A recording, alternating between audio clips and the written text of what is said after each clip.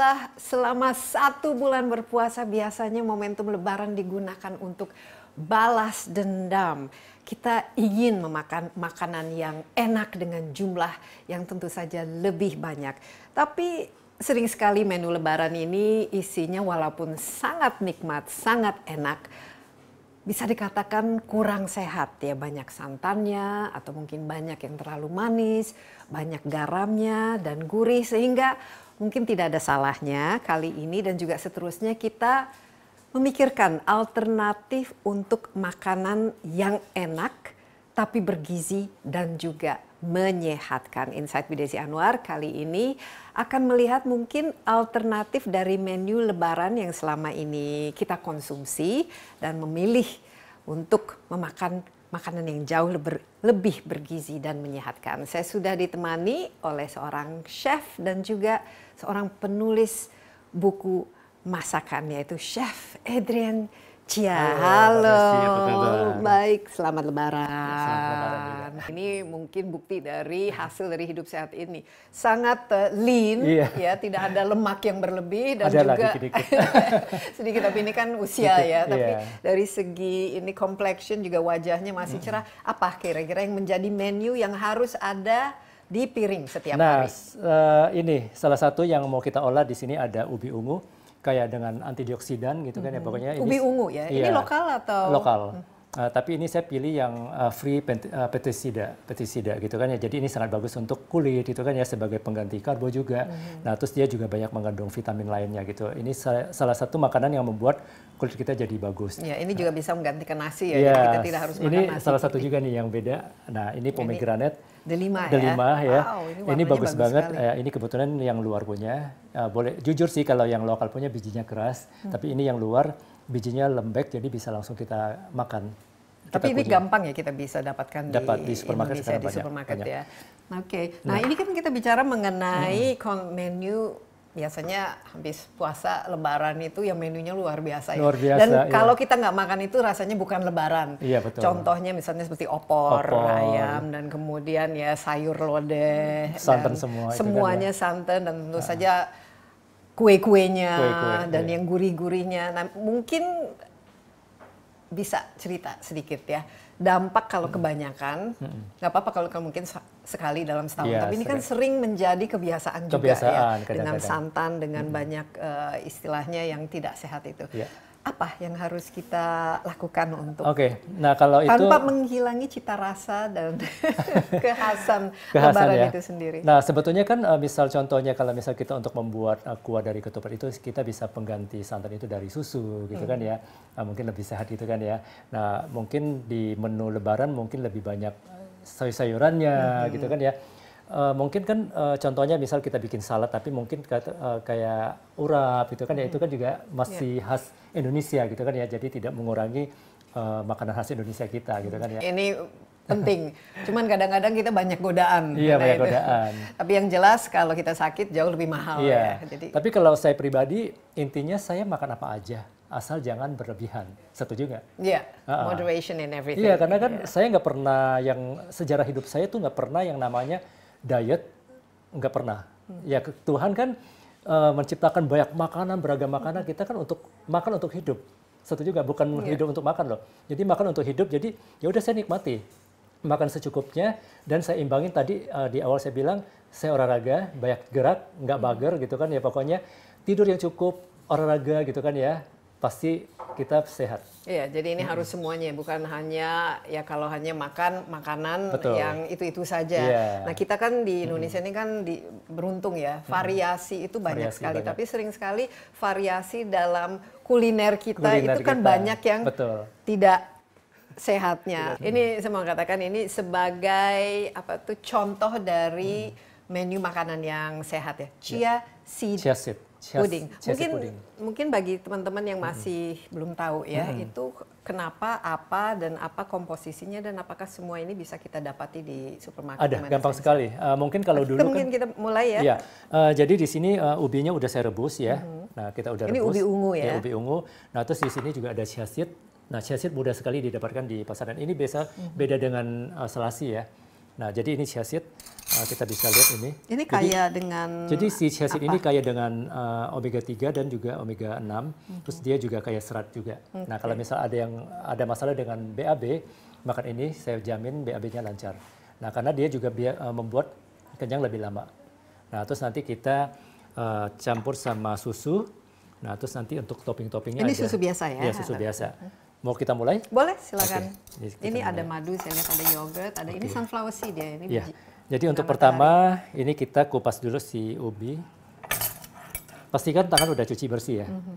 Nah ini, nah bagus sekali kan? Oh bagus sekali. Warnanya tuh bagus sekali. Ini lokal ya? Iya lokal.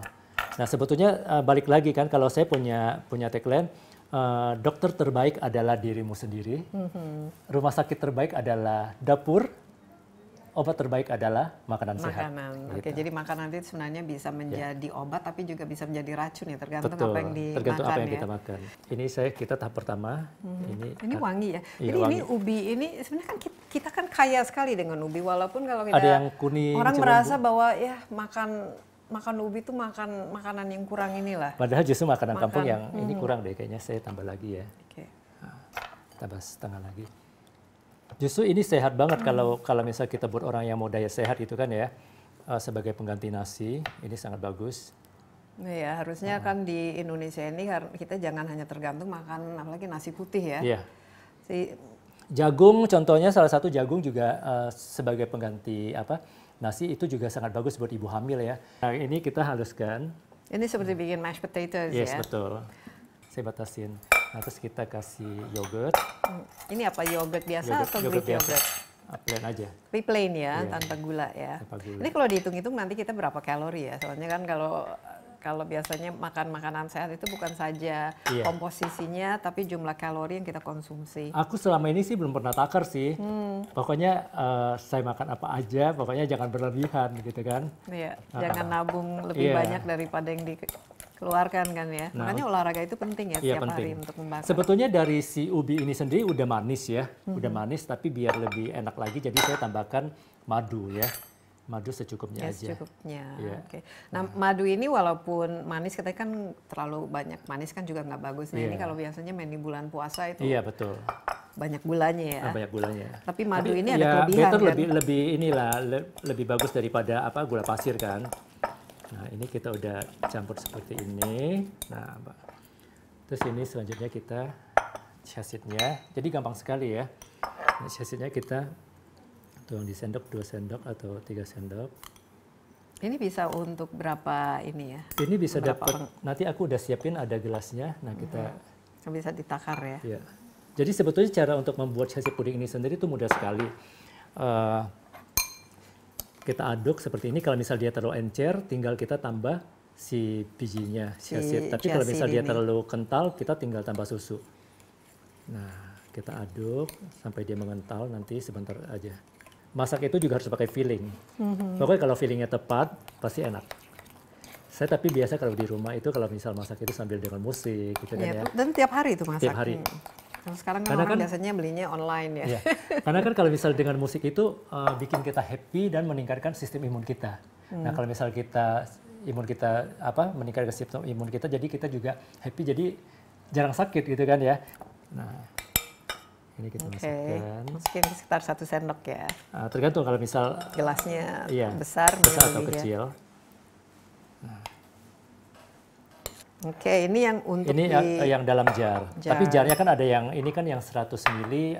Kalau misal mau bikin yang lebih besar, nanti pilih jarnya yang lebih besar, yang 200 mm-hmm. mili bisa ya.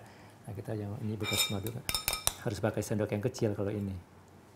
Nah kita bikin yang jar. Ini your signature dish? Ya, salah satu. Salah dari... satu. Hmm. Bikin sendiri ini ya. ide kreatif. Ide, ide kreatif sendiri. Oke. Okay. Udah kita taruh sini ya. Oke, ini dua jar. Ini yang bisa disimpan di kulkas gitu ya. Jadi Terus, ini tergantung ukurannya. Ya, ini tergantung lebih ukurannya. Besar. Oke, jadi kita tuang seperti ini. Tuh. Perpaduan warna hmm, putih hmm. sama ungu ini cantik banget. Nah, jadi taruhnya bukan sampai penuh. Nanti setengah aja ya, seperti ini. Oke. Okay. Oh, ini kalau makan ini nggak perlu makan makan yang hmm, lain kan perlu, udah iya. langsung ngembang di perut iya, nih. langsung ngembang terus uh, sehat itu kan. Mm -hmm. Ini yang ini. Jadi dia nggak boleh tuang sampai penuh karena kita masih mau topping-topping lagi biar cantik ya. Nah, kita kasih yang dalam jar. Nah, kalau yang dalam jar penuh nggak apa-apa, karena kan ditutup kan ya nggak kelihatan. Kita kasih ini. Uh, ini bunga matahari ya? Bukan. Oh, oh pumpkin. Uh, iya pumpkin. Pumpkin seed. Nah, kita taruh satu sisi seperti ini. Ini sangat bagus ya uh, untuk kesehatan juga. Ya, ini kuaci ya, ini kayak kuaci lah sebetulnya. banyak ini ya, banyak vitamin E-nya kan. Nah, terus kacang almond. Kalau misal nggak punya kacang almond juga bisa pakai apa? Uh, yang biji apa?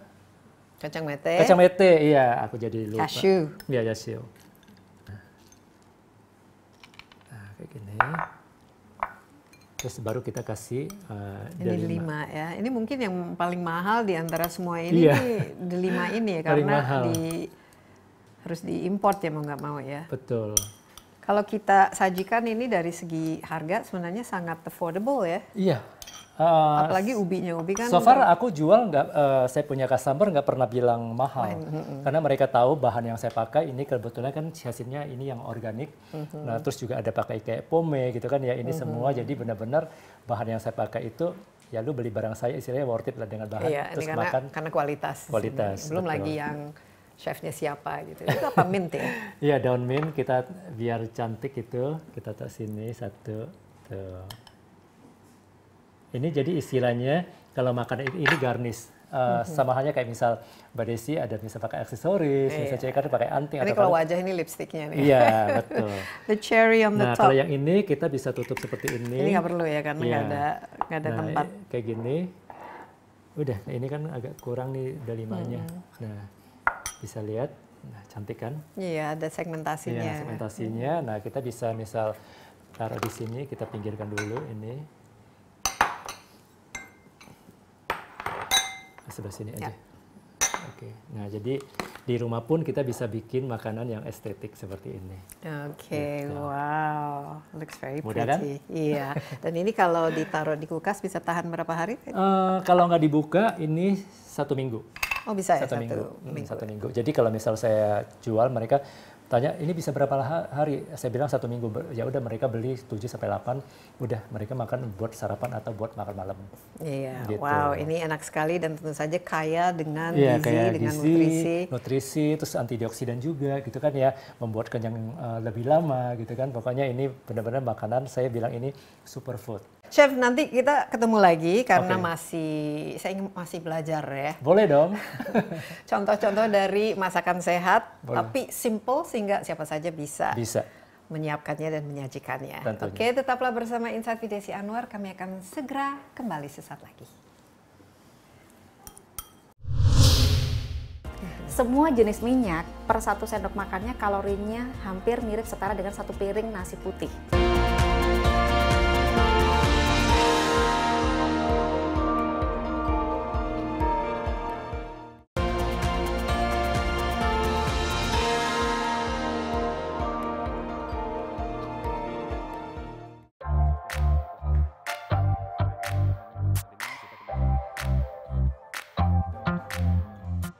Hari raya sangat identik dengan banyaknya makanan yang lezat seperti opor ayam, rendang, hingga makanan ringan seperti dodol dan nastar. Namun perlu diingat bahwa panganan ini mengandung tinggi kalori sehingga apabila tidak dibatasi akan menimbulkan masalah kesehatan yang serius. Melihat kenyataan ini penting bagi kita untuk mengetahui bagaimana cara mengkonsumsi hidangan lebaran agar tetap sehat dan terhindar dari berbagai penyakit akibat makanan tinggi kolesterol dan gula. Agar kita tetap dapat menikmati hidangan lebaran, ada beberapa tips sehat mengkonsumsi hidangan lebaran.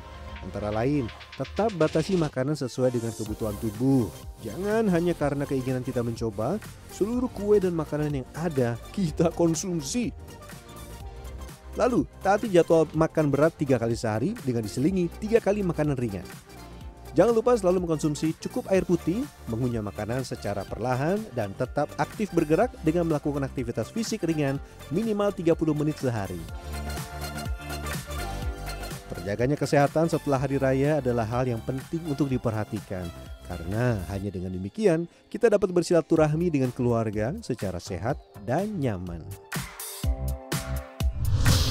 Kita kembali dalam Insight with Desi Anwar. Topik kita kali ini mengenai makanan yang sehat, makanan yang bergizi, bernutrisi dan tentu saja baik bagi tubuh kita. Apalagi masih dalam suasana lebaran sehingga kita kecenderungan masih ingin makanan yang enak, makanan yang banyak, tapi tentu saja hal ini sekali-sekali boleh tapi jangan menjadi kebiasaan. Nah, kita tentu saja ingin tahu apa-apa saja sih macam-macam makanan yang menyehatkan. Saat ini saya sudah ditemani oleh dokter, seorang spesialis gizi klinik ya, dokter Putri Sakti. Mbak Putri, dok apa kabar? Sehat ya? Alhamdulillah baik. Sehat selalu. Mbak Desi juga sehat selalu. Ya, dan juga selamat lebaran ya. Terima kasih, selamat Mohon lebaran maaf juga. lahir Mohon batin, maaf tapi batin. saya mau tanya sebenarnya ketika lebaran, biasanya kan menunya itu yang biasa lah, ada Iya. opor ayam, ada yang ketupatnya, pokoknya ada yang macam-macam biasanya penuh dengan santan. Eh, Mbak Putri sendiri, dok sendiri, apa menunya dan apakah ada yang mungkin disehat-sehatkan gitu karena Iya. dokter kan seorang spesialis gizi. Iya, baik. Memang kalau di rumah biasanya masih tetap sama ya, mirip-mirip ada opor, kemudian ada kentang, apa kering kentang Mhm. gitu. Cuman memang versi yang lebih sehat. Jadi misalkan kalau saya di rumah biasanya masak opor ini pakai susu kedelai, jadi bukan santan sebagai Oke, penggantinya. susu Iya, kedelai. Susu kedelai. Itu itu nggak mengganggu rasa ya? Tidak nggak ada- sama dari, sekali. dari segi tekstur dan lain sebagainya nggak apa-apa. Enggak sama sekali, karena kan kita nanti mainin di rempah-rempahnya, jadi ketutup di situ rasanya. Terus nanti eh, kalau misalkan kayak kentang gitu ya, nggak digoreng biasanya. Di apa gitu. yang dipanggang atau? Antara dipanggang atau di pan fried biasanya. Oke, nah kalau yang lain-lain itu kan biasanya ada yang manis-manisnya Iya. dan lain. Dokter sendiri konsumsi nggak? itu? Misalnya Sesekali yang putri konsumsi. saljunya. Oh, kue kering. Kasteng, Ya. Kastengelnya dan kemudian juga ya macam-macam lah biasanya kan yang manis, yang Iya. asin. Mm-mm. Ya memang kalau kue kering biasanya kalau di ini ya Lebaran pasti tersaji dan sesekali pasti kita menikmati juga antara juga nggak enak ya disajikan tapi biasanya uh, lebih mindful jadi kayak satu sampai tiga keping aja biasanya. Oke, nah dokter kenapa kita ajak? Karena kan tadi kita sudah bicara dengan seorang chef jago tuh menyajikan makanan yang simple, yang sehat, tapi kan dari segi nutrisinya. Kan Tadi kita sempat kita bikin yang namanya chia seed pudding. Nah kalau dilihat dari situ, ya seperti apa ini? Gizinya dan sebagai ap- apakah ini betul-betul sehat buat tubuh kita? Iya pastinya sehat ya. Karena kalau tadi saya lihat satu dia ada ubi ungu.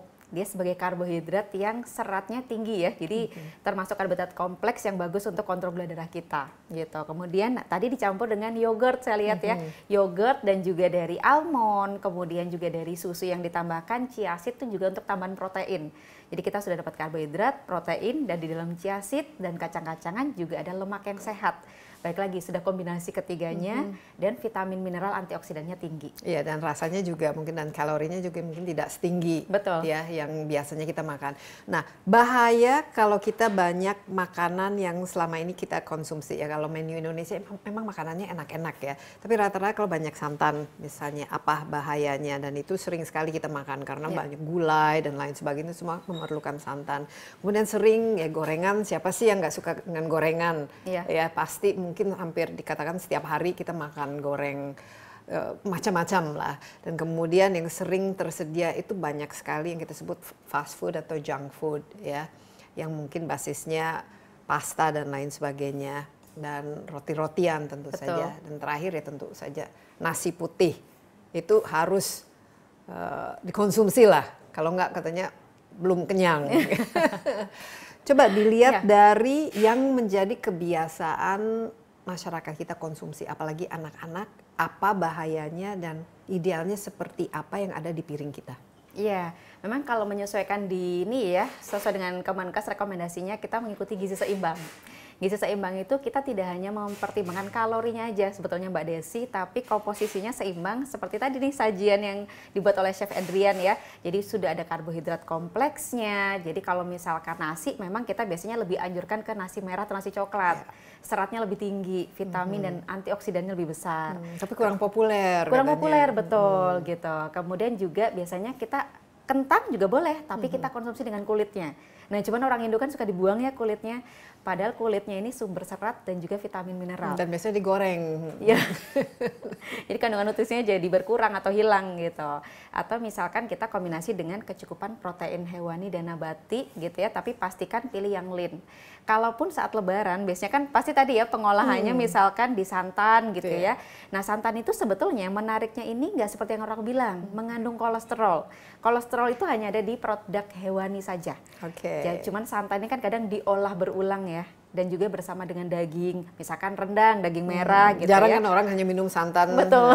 Tapi ini ini menarik mengenai ya. santan dan yang kita sebutkan sekarang yang lagi trendy misalnya ya. virgin coconut oil ya. dan lain sebagainya. Coba kita bicara sedikit mengenai manfaat atau kesehatan yang hmm. berbasis kelapa ini. Iya sebetulnya untuk virgin coconut oil ini sehat ya untuk tubuh kita. Mm -hmm. Tapi kita harus ingat bahwa selain membicarakan jenisnya sehat atau tidak, kita harus melihat dari segi kalori. Mm -hmm. Semua jenis minyak per satu sendok makannya kalorinya hampir mirip setara dengan satu piring nasi putih. Oh, oke. Okay. Yeah. Dan ini semua minyak semua yang minyak untuk masak gitu. Betul. Termasuk minyak kelapa itu. Minyak kelapa, olive oil yang terkenal hmm. sehat gitu itu ya. Minyak sawit. Betul. Hmm. Jadi kita harus menjaga porsinya juga in moderation kuncinya. Nah kalau misalnya dari minyak itu sudah digoreng, apa yang terjadi dan kenapa nggak baik bagi kita? Oke, okay, terutama kalau misalkan untuk minyak kelapa sawit ya, yeah. ini kan dia uh, ikatan kimianya itu cenderung rapuh. Jadi kalau misalkan kita gunakan untuk menggoreng suhu yang tinggi, apalagi lebih dari dua kali, ikatan kimianya jadi rusak. Dan ini akan membuat lemak yang tidak sehat untuk tubuh kita yang disebut dengan lemak trans. Makanya biasanya trans fat ya biasanya. Trans fat hmm. betul dan tubuh kita ini sama sekali tidak bisa mengolah. Dan itu akan memicu semua penyakit mulai obesitas, diabetes, jantung, stroke bahkan sampai cancer. Iya, dan ini merupakan ya tiap hari lah bisa kita katakan konsumsi ya. Betul. Tapi kalau minyak seperti olive oil ya minyak zaitun ya. itu bagaimana dan juga katanya kalau menggoreng pakai minyak kelapa lebih menyehatkan atau ya ada Betul. Hal yang lain. Iya. perlu diketahui. Iya, jadi gini, sebetulnya untuk virgin coconut oil gitu ya, dia tetap sehat dan untuk suhu pemasakan yang tinggi, dia lebih stabil ikatan hmm. kimiawinya, makanya bagus. Kalau ingin deep fried, pilihannya adalah coconut oil. Hmm. Tapi kalau misalkan ingin untuk tumis-tumis, salad, pilihannya misalkan olive oil tadi atau minyak zaitun, karena antioksidannya luar biasa banyak gitu. Dan ikatan kimianya ini gampang rapuh. Jadi kalau misalkan kita buat deep fried, yang tadinya sehat justru malah tidak yeah, sehat. Jadi mungkin kuncinya itu proses penyiapannya itu. Betul. Jadi seperti ini kan tidak ada proses memasaknya iya, kan tidak ada yang betul. dipanaskan, tidak ada yang digoreng dan lain sebagainya. Itu betul. jauh lebih menyehatkan. Pastinya nah, nutrisinya akan terjaga. Kemudian kalau susah untuk mendapatkan uh, yang mahal-mahal, ingat sehat tidak harus selalu mahal. -hmm. Jadi misalkan kita olah ikan kembung gitu ya, atau misalkan ayam dimasak teriyaki atau makanan olahan uh, pangan lokal, boleh banget.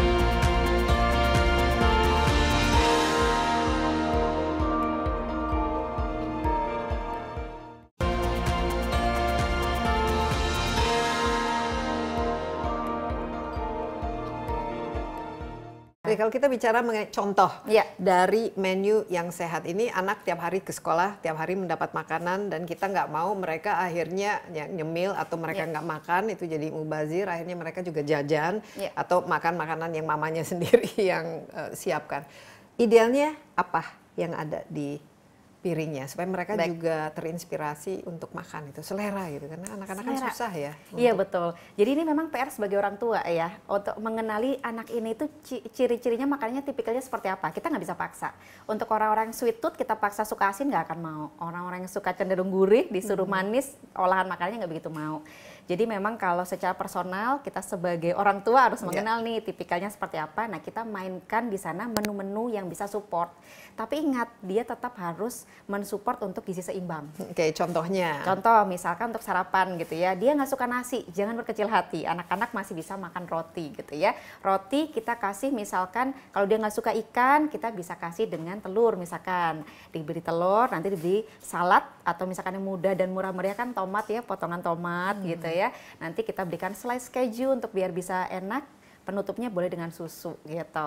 Dan kalau perlu kita tambahkan misalkan dengan kacang. Misalkan kacang almond, kacang mede itu kan enak ya.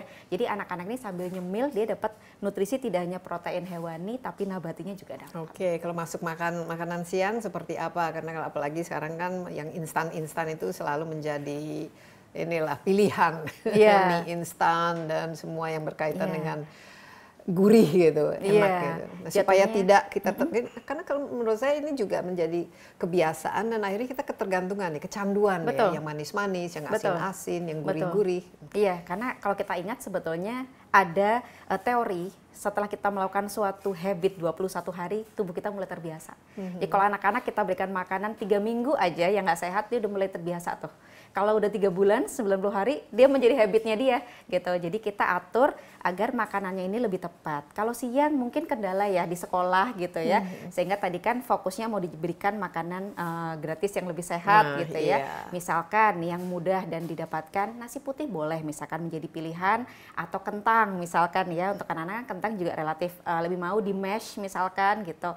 Kemudian kalau susah untuk mendapatkan uh, yang mahal-mahal, ingat sehat tidak harus selalu mahal. Jadi misalkan kita olah ikan kembung gitu ya atau misalkan ayam dimasak teriyaki atau makanan olahan uh, pangan lokal boleh banget gitu. Yang penting kan kita evaluasi oh anak-anak ya jangan pedas. Nanti tinggal ditambahkan di situ kacang-kacangan misalkan kalau nggak ada kacang uh, edamame terlalu mahal bisa fokusnya misalkan kita berikan di situ dari buncis kan mudah meriah juga sambil kita berikan sayur-sayuran di sana. Nah sekarang kan kita pengaruh dari selera internasional Iya. ya junk food bisa di mana-mana yang instan seperti ya pizza, pasta, Betul. dan uh, burger dan lain sebagainya seolah-olah sudah menjadi bagian dari makanan kita lah. Iya. Sebenarnya kan di Indonesia sendiri kita banyak sekali tadi contohnya ubi, ubi ungu Betul. ya dan ada jagung, ada variasi dari uh, banyaknya sayur mayur dan Betul. lain sebagainya. Bagaimana supaya mengembalikan cita rasanya ini dan menyajikannya supaya ini menjadi staple food atau makanan Iya, pokok Betul. kembali karena saya, Iya. saya lihat itu justru dalam satu ekstrim kita bicara ada stunting Betul. khususnya di Indonesia bagian Iya, timur gitu betul. mereka kekurangan makan justru kekurangan gizi kekurangan nutrisi tapi di spektrum yang lain obesitas Betul. diabetes di usia dini dan juga eh, yang semua yang berkaitan dengan metabolisme Betul.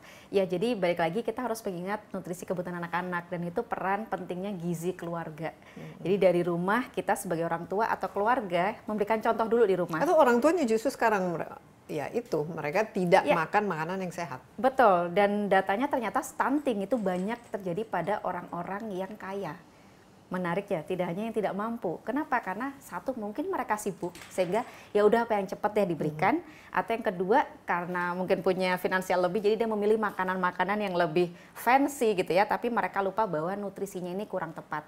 Makanya penting sebagai orang tua dengan perekonomian apa pun kita mulai mengenalkan anak-anak ini di makan-makan yang tadi ya staple food yang ada di sekitar kita secara bertahap sehingga mereka juga akan lebih mengenal gitu ya makan makanan yang lebih sehat dan enak sebetulnya ya kalau kita lihat cuman mereka kan belum jarang terpapar itu aja. gitu.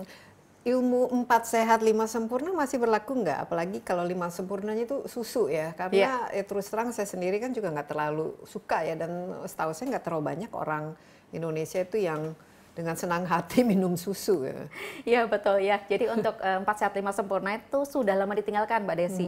Jadi kita sudah beralih ke gizi seimbang tadi. Jadi sudah tidak ada kewajiban nih untuk minum susu di atas usia 2 tahun. Karena sumber kalsium itu kan banyak ya di Iya. kacang-kacangan juga bisa gitu. Jadi tidak wajib harus minum susu. Apalagi datanya ternyata orang Indonesia termasuk saya secara genetik itu mengalami intoleransi laktosa. Biasa biar ini mules atau Pencerna sakit iya perut. betul atau dia gampang gesi jadi gampang kenyang jadi dia males makan gitu itu mengganggu juga di anak-anak jadi uh, pastikan apa yang kita berikan itu tetap bisa menyehatkan mereka Oke, gizi seimbang. Nah, kalau kita lihat di sini Iya. kan ada warnanya juga kan bagus ya. Iya, betul. Ada kalau buah-buahan ini delima warnanya bagus, tapi kalau kita lihat juga kan di eh, sayur-sayur itu kan ada yang macam-macam, ada yang hijau, ada yang ungu dan lain sebagainya.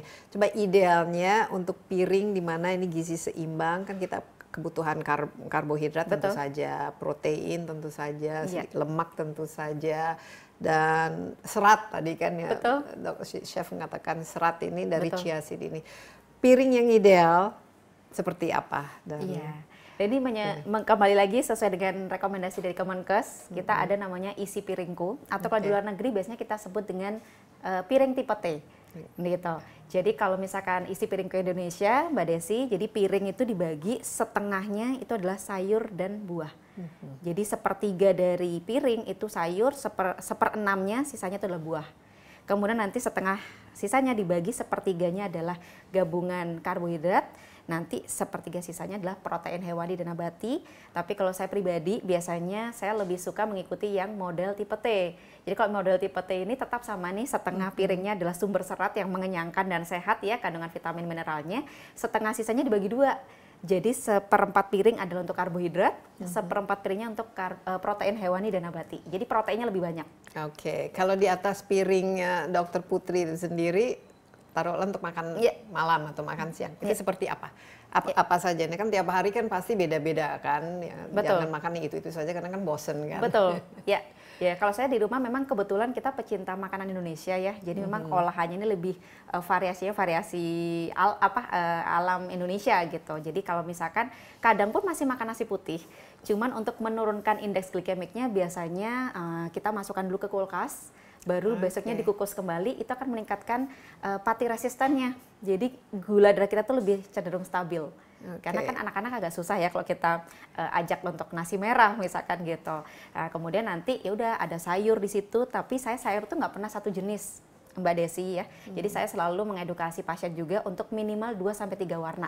Kayak ini kan ada tiga warna ya. Nah, ini antioksidannya beda-beda.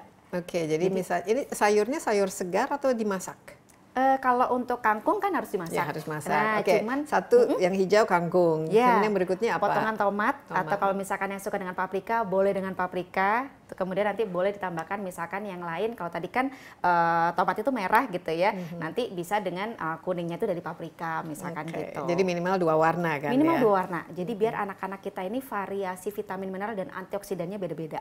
Oke, Gitu. jadi kalau dari karbonnya itu nasi ini, ini tips yang menarik ini. Jadi kalau nasi putih yang dikatakan itu high glycemic index Betul. ya, jadi lebih memicu inilah gula ya di Betul, tubuh. gula Kalau dimasukkan di kita. kulkas harus berapa lama di kulkas minimal?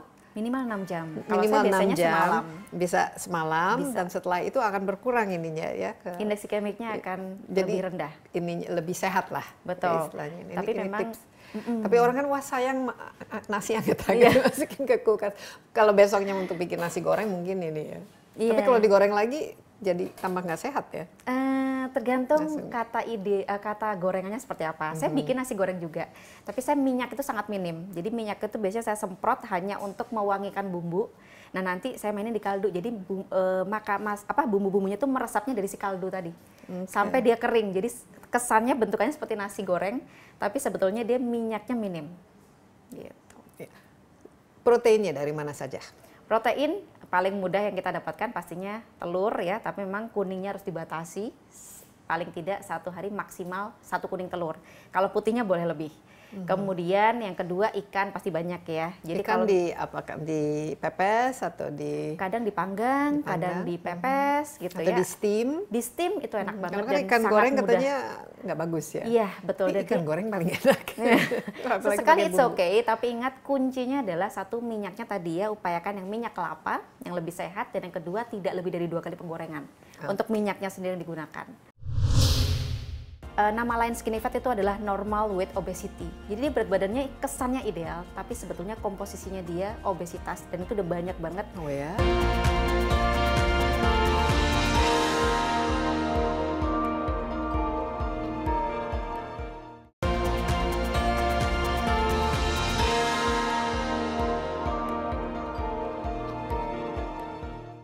Kalau anak-anak favoritnya makannya apa dan apakah mereka boleh ngemil atau boleh jajan dan boleh makan makanan junk food? Ya, kalau anak-anak saya memang dari kecil udah saya biasakan ya. Kebetulan saya di rumah emang masak sendiri nih untuk anak-anak. Jadi alhamdulillah mereka makannya makanan eh, lokal dan masih bisa bervariasi gitu. Mau kangkung, sayur bening semua mau gitu. Cuman memang untuk snack kita harus ingat terutama untuk anak-anak mereka kan tumbuh dan berkembang ya bedanya dibanding kita orang dewasa. Jadi tetap harus ada snack Cuman Bentuk pastikan snacknya apa saja? kalau di rumah misalkan seperti cheese ball, jadi nasi sudah ada sayur, eh, misalkan wortel diparut. Kalau saya ya udah ada kejunya, gilingan daging atau kadang ikan, ikan lele dicampur nanti dibulet-buletin. Itu juga boleh. Atau Buat snacknya. Buat Tapi ini snacknya. kelihatannya dok- dokter ini ada waktu untuk menyiapkan setiap hari. Ya. Atau Ini pasti ini yang selalu menjadi kendala kan lebih Ya, gampang betul. mungkin untuk pesan online atau Betul. akhirnya ya nggak masak gitu. Iya, ya. Kalau saya pribadi karena memang eh, basicnya pengen anak-anak lebih sehat gitu ya, jadi saya menyiapkan dengan meal preparation. Mhm. Jadi ketika Sabtu atau Minggu saya nggak kerja, itu saya bikin menu untuk seminggu ke depan. Oke, jadi Untuk ada planning gitu meal Betul. plan. Nah, Nanti mengolahnya di saat Sabtu atau Minggu, misalkan saya kaldu udah bikin untuk seminggu ke depan. Jadi nanti kalau mau masak saya tinggal plung plung plung gitu, tinggal variasi sayur dan uh, apa namanya proteinnya aja yang kita uh, oprek gitu ya. Atau misalkan ayam udah diungkep sekalian nanti divariasikan mungkin untuk Senin, Rabu atau Minggu atau kadang kalau misalkan ayam atau ikan udah saya pilih-pilahin di uh, misalkan Tupperware ada yang dimasak dengan misalkan potongan bombay pakai eh, teriyaki atau tiram nanti yang satu ini bumbu misalkan lebih versi Indonesia misalkan cuman diungkep dengan bumbu kuning gitu jadi dan ini semua bisa disimpan di freezer ya. bisa betul Ba- Wow, ini luar biasa. Jadi meal preparation yang Meal dengan preparation. planning jadi semuanya itu lengkap ya, Betul. gizinya lengkap. Kalau makan suplemen dan lain sebagainya perlu nggak kalau setelah makan ini? Apalagi masih tumbuh berkembang ya. betul ya jadi suplemen itu kan sebetulnya tambahan nutrisi ya kalau tubuh kita tidak mendapatkan dari makanan utama jadi kalau kita yakin anak-anak kita ini konsumsi makanannya bagus dan kita bisa menyajikan yang tepat sebetulnya tidak wajib gitu. Tetapi pada beberapa kondisi, salah satunya adalah vitamin D.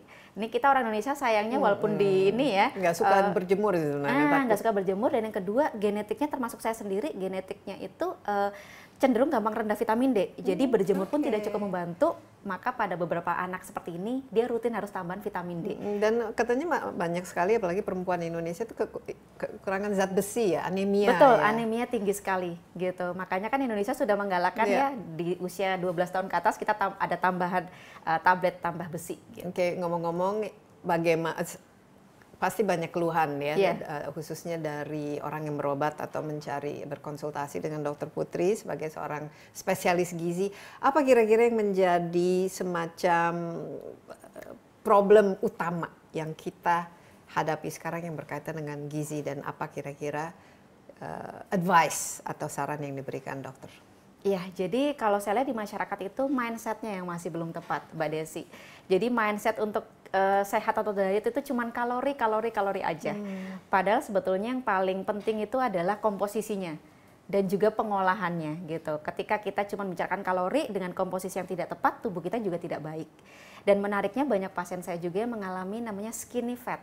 Mbak Desi mungkin pernah dengar? Iya, dari luar kelihatannya Iya. kurus, tapi sebenarnya kalau Betul. kita cek ini komposisi, komposisi, tubuhnya darahnya, betul.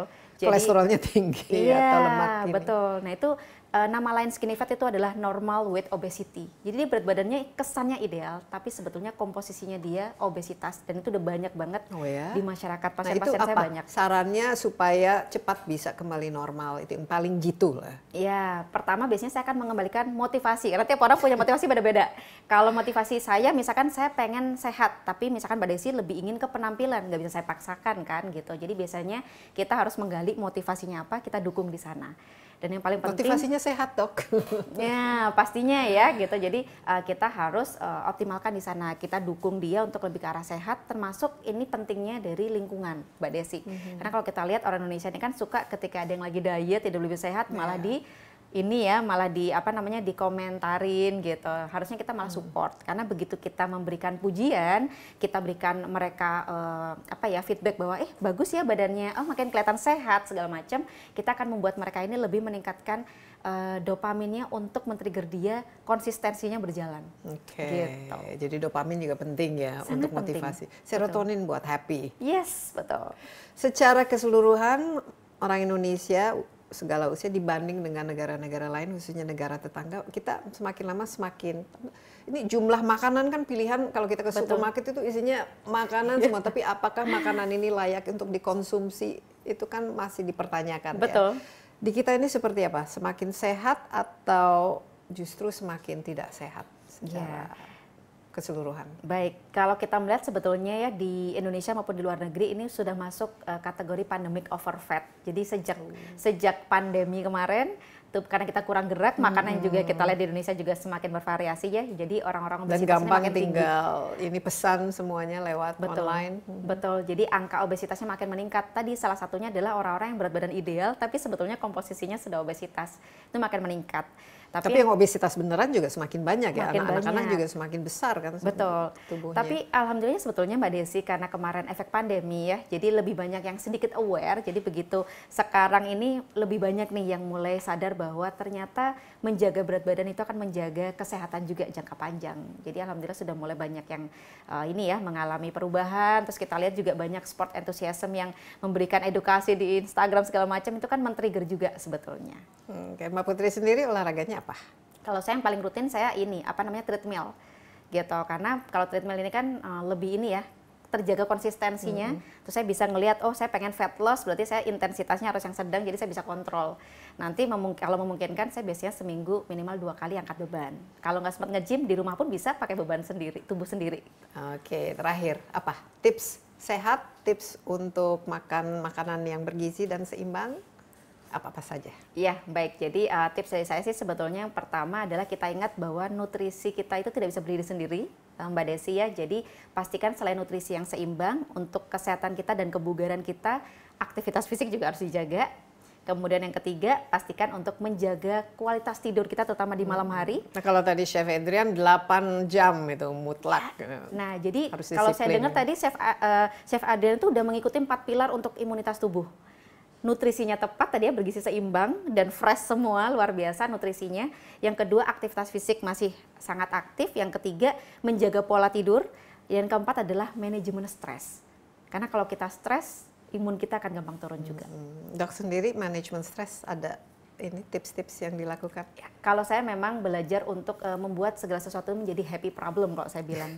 Jadi uh, apa pun itu saya ngelihatnya dari sisi positif. Contoh nih misalkan saya ada talk show di hari Minggu. Jadi bukan yang kayak aduh minggu-minggu harus kerja hmm. tapi diubah ke arah yang oh alhamdulillah ya masih apa hari Minggu ada produktivitas gitu yeah. tapi tetap manage habis itu oh ketemu dengan keluarga masih terjaga kualitasnya. Oke. Okay. Dr. Putri Sakti, spesialis gizi klinik. Terima kasih banyak sama-sama atas insight-nya, sangat inspiratif. Tapi rasanya kita perlu lagi ya belajar menu-menu apa saja yang kita bisa lakukan sendiri di rumah dan Betul. menurut saya perlu ini kita belajar lagi dari chef kita. Betul. Ini nah. seperti kita bungkus kado ya sebenarnya. Yes. nah, itu pintar. Iya, saya punya perasaannya, feelingnya iya, feeling ada. Harus.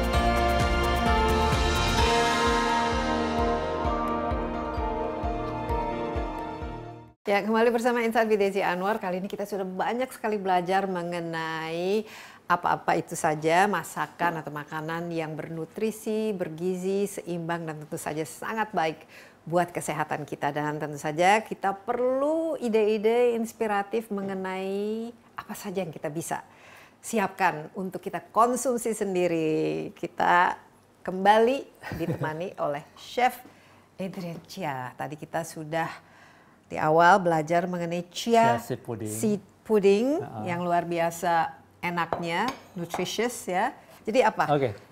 Nah hari ini tapi kita bikin yang sehat juga gitu kan ya. Mm-hmm. Coba lihat nih ada lettuce ya, ya kan. Hijau-hijau pasti sehat. Carrot, terus ada timun hmm. itu kan ya, terus ada uh, apa bihun sebagai bihun. pengganti ini, karbo. Ya. Uh, terus juga ada udang, uh, proteinnya dapat dari udang gitu kan hmm. ya. Mm-hmm. Nah hari ini kita mau bikin yang Vietnam punya makanan pasti semua orang tahu kan Vietnam roll hmm. gitu kan kayak lumpia gitu kayak ya? lumpia hmm. tapi ini yang yang versi lembut-lembutnya lembut, terus nggak digoreng nggak gitu digoreng kan, nah digoreng. ini ini kita yeah. nih orang Indonesia kayaknya kalau nggak makan gorengan nggak lengkap yeah. gimana ya caranya mengubah ini, sebetulnya selera sebetulnya itu balik lagi ke kita kan hmm. saya bilang uh, sehat itu pilihan mau sehat pilih makanan sehat itu memang resiko sih kalau misal kita banyak makan gorengan itu resikonya jadi obesitas itu pertama dan uh, kulit kita jadi kurang bagus, nggak glowing seperti saya. Iya, jadi kulit kulitnya ikut Ku- kulit iya, kering. gorengan. Iya. Nah terus itu resiko juga jadi cancer. Oke, kita mulai. Oke, kita mulai. Nah sebelum mulai saya juga punya uh, top tips, tips yang selalu top untuk anda bagaimana cara rebus udang supaya Oke. teksturnya garing dan uh, enak. Eh, ada ada ininya Nah ya. kita siapkan air di sini, kita nyalakan. Oke. Berapa banyak ini airnya? Uh, secukupnya aja. Nah terus kita kasih, uh, ini resep dari mama saya. Oke. Nah kita kasih Resep dari Bangka. Ya, teknik masak. Kasih garam. Itu secukup- garam Ya, garam ini, garam, garam, biasa laut ya. atau garam ya. biasa. ya. Terus sama gula. Jadi dia supaya teksturnya tuh garing. Nah, terus warnanya juga Hmm. Tapi ini cantik. jangan banyak. Ini ini, ini musuh nih biasanya kalau Iya. gula putih ya. Saya Tapi masih melihat, masih tapi- imbangin lah ini airnya banyak. Oke. Ah, Oke. Kita tunggu sampai mendidih, baru kita masukkan udangnya. Oke. Tinggal kita angkat. Jadi eh, masak udang itu nggak boleh lama-lama. Eh, kalau lama itu kalau di overcook nanti jadi teksturnya jadi keras. Oke. Nah, kalau beli udang ini idealnya seperti apa? Nah, ini Masih udangnya frozen atau masih ada kulitnya atau Eh, segar? Gimana? Ini yang udah dikupas mereka jual ini kan ya. Nah ini bagus kalau misalnya dia warnanya udang seperti apa? ini udang Panemo. laut. Oh, udang laut. Ya kalau misalnya warnanya seperti ini dia masih bagus. Nah terus dia nggak terlalu bau amis. Oh iya, segar. Ya kalau misal ada eh, kadang-kadang kan kemarin ada teman saya dibilang, aduh saya makan udang itu eh, jadi alergi. Ya, saya alergi deh, Nah terus terang. tapi seafood. begitu saya pas pernah saya kasih makan udang yang dari saya, loh tumben ya saya kok nggak gatal-gatal, kok nggak alergi, nggak usah minum obat, dia bilang gitu. Saya bilang, nah ternyata saya bahas sama dia kan, itu semua tergantung dari si udangnya. Kalau udangnya fresh, otomatis nggak akan alergi. nggak alergi. Tapi kalau udangnya nggak fresh pasti alergi. Oh iya, ini udah Oke, kelihatannya udah udah mau mendidih. Nah kita pas, tapi pastikan harus benar-benar mendidih ya, baru kita masukkan udangnya. Kita masukkan. Nanti kita ada lanjut. ada ini nggak masakan kuliner yang favorit atau chef yang favorit? Kalau Chef saya kan masakan Bangka itu apa lempak kuning ya. Mhm. Lempak kuning itu kan benar-benar sehat karena kan eh, bumbu-bumbunya. Nah kita kecilkan apinya. Ya. Bumbu-bumbunya itu benar-benar eh, kayak misalnya ada lengkuas, ada kunyit gitu kan ya bawang merah itu kan spices yang iya berapa lama-lama. menit? Sebentar aja nih bisa lihat langsung teksturnya langsung segar kan. Oke. Ya ini udah matang. Kenapa kalau lama dia keras ya? Iya nggak boleh lama-lama. Saya ambil wadah Itu yang nggak baru nggak sampai mungkin hanya satu menit ya nggak sampai. Iya. Enak ya kalau dapurnya lengkap ya. Di Iya, rumah dapur- seperti ini juga nggak? kurang lebih tapi nggak sebesar ini nah kita langsung angkat kayak gini tuh bisa lihat kalau misal udah yang fresh tuh sama yang nggak fresh tuh beda banget tuh nah tadi kan eh, supaya dia teksturnya lebih garing lagi karena tadi saya kan ada kasih gula sama garam tuh kan beda Jadi ini mungkin secret recipe-nya ya. Iya. Harus Nah- pakai sedikit garam. Tadi saya lihat mungkin setengah sendok teh ya. Iya, setengah sendok. Eh, mungkin sebagian orang kan bilang makan udang itu kolesterol, tapi sebetulnya enggak loh. Tapi nggak tahu nanti kalau ditanya dokter ya. Eh, karena saya sering makan udang, tergantung cara masaknya. Tapi kalau direbus kayak gini, ini kandungan nutrisinya sangat Iya. bagus. Tapi kalau misal digoreng tepung, itu yang bikin kolesterol. Setuju nggak, Mbak Desi? Iya, apalagi terus kemudian makannya pakai saus yang macam-macam kan ya. Iya. Nah kalau misal contohnya kita makan ikan bagus nggak? Iya pasti bagus, Bagus, kan? dong. Tapi kalau ikannya Tapi kalau digoreng dan goreng garing, eh, goreng, tepung, kering. nah itu nggak sehat, benar nggak? Iyalah. Jadi sebenarnya kuncinya itu bagaimana kita menyajikannya ya. Betul, Sama mungkin dengan sayur juga kan. Kalau sayurnya disajikan dengan benar pasti Betul. semua nutrisinya kan masih kita bisa Iya. nikmati. Oke, Oke. ini udang udah kita rebus, tuh masih segar seperti ini, Mm-hmm. ya. Nah, sebentar kita sisihkan. Nah, udah gak sabar kan mau gulung Mm-hmm. itu? Ini kita kasih air. Ini pastikan wadahnya udah bersih dan tangan udah cuci bersih ya. Udah cuci ya? Udah cuci tangan. Seru juga, ini seru juga ya. eh, menurut saya ini makanan Vietnam satu ini eh, kalau kita makan di restoran kan lumayan mahal. Kalau bisa bikin sendiri kenapa enggak? Mm-hmm. Iya. Ya kan? Dan mungkin lebih higienis juga ya. Yes, kita kan nggak tahu bagaimana cara Nah, mereka. terus untuk uh, rice papernya ini bisa didapatkan di supermarket ya. Jadi semua Tapi ini khusus rice papernya, bukan? karena kita kan juga punya rice paper yang Beda. untuk lumpia, beda ya. beda. Jadi harus Vietnamese roll gitu Yes. tulisannya. Oke. Uh, uh, ini memang beda. Jangan salah ini. Oke, jangan aku kasih beli. contoh satu, nanti Mbak Desi satu ya. Oke, boleh. Oke. Tapi kalau gitu saya cuci tangan Cuci saya tangan dulu. sebentar. ya. Aku kalau saya udah Sambil cuci. di- ini saya cuci Oke. tangan. Jadi ini kita rendam sampai dia benar-benar lembut.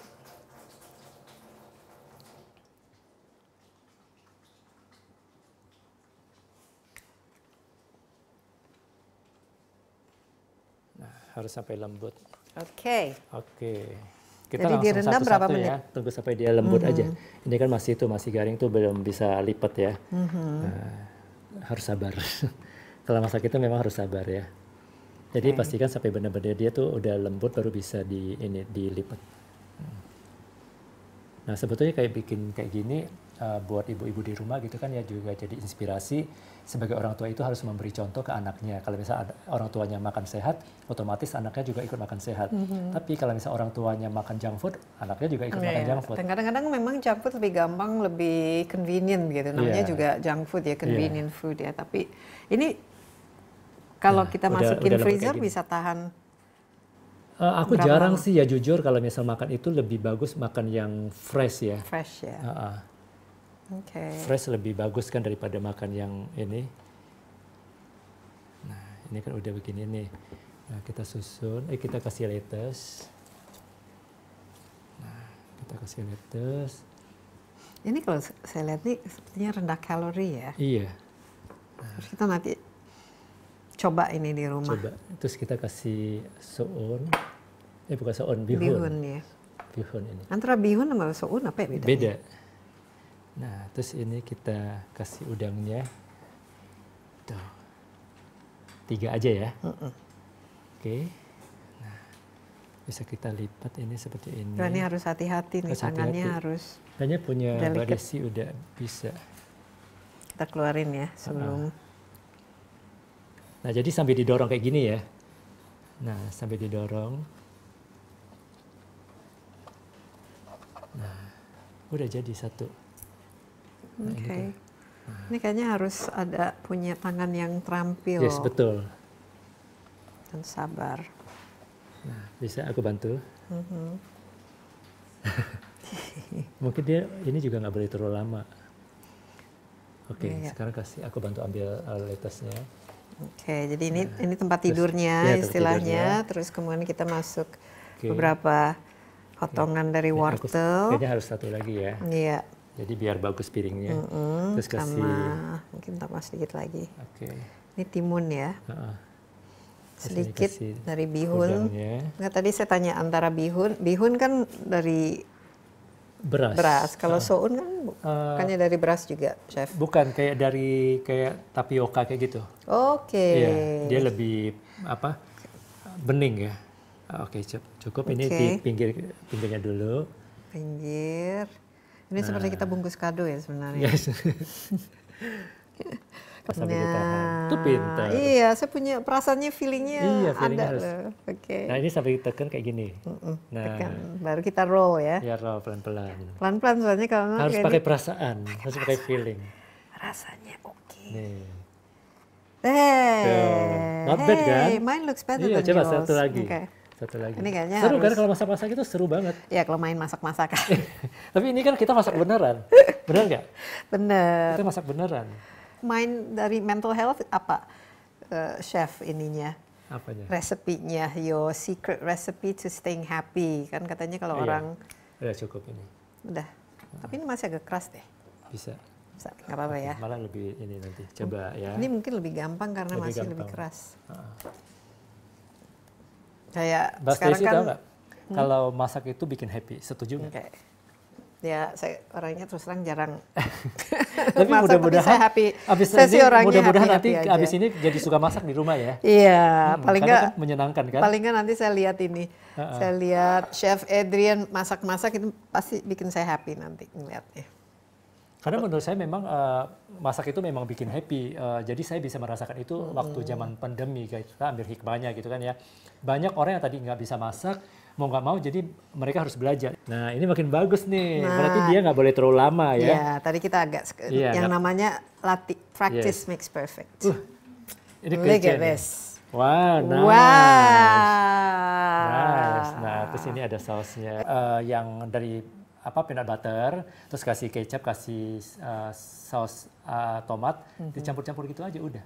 Oke. Hmm, kalau ini kan karena hari ini aku kan mau buru-buru tuh jadi aku beli yang jadi nggak apa-apa. Tapi kalau misal mau bikin sendiri nanti pakai peanut butter, Tambah dengan Eh, ini kecap, terus kasih sama- saus uh, tomat atau misal cabe, udah diaduk-aduk jadi. Oke, ini namanya Vietnamese. Nah kalau misal ini mau dipotong juga bisa. Bentar ya. Jadi biar cakep. Ya ini aja ya. Di presentation is everything kalau sama Chef Adrian Nah, ya. Ini dipotong jadi biar kena udangnya juga. Nah jadi biar cakep.